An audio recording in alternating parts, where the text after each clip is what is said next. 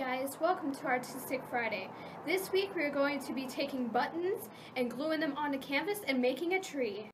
This project is so cool because even little kids can get in on it. So let's get started.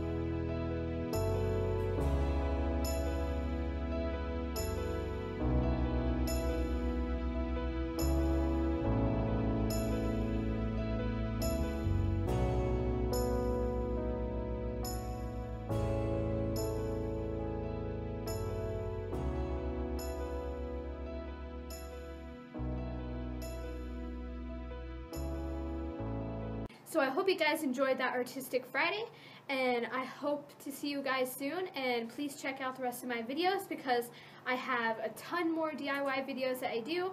I put out an art video every Friday and sometimes during the week. So I'll see you guys later. Bye! Manicure.